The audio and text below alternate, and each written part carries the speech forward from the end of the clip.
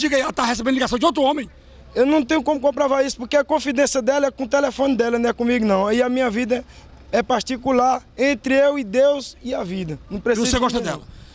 Se ela gostar de mim, eu não sei. Então tá aí, ele recebe, portanto, exatamente segundo ele, ele recebe ligação de outra mulher. E você, como mulher e policial, o que, é que você acha da saída dele aí? Você acha que ele tá falando a verdade? Segundo ele, né, diz que a esposa está recebendo ligações anônimas. Ele se chateou com esse motivo e agrediu ela. Ela Mas isso é motivo de agredir a mulher? negativo, negativo. Então tá aí, Fernanda, obrigado, Fernanda. Ela que pertence à Força Tática do Proborá e o homem chega aqui, meus amigos.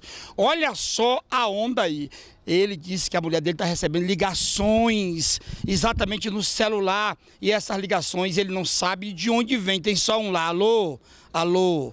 Quem é? Aí ele ficou de trás da porta quando ouviu ela falando, sapecou a mão na cara dela. E agora tá aqui na delegacia e vai se ver com o delegado que está de plantão na delegacia de flagrantes. Aliás, Moacir, coloca uma música aí pra eles dois aí, olha só. Essa música aí, olha, que ele gosta de ouvir, olha.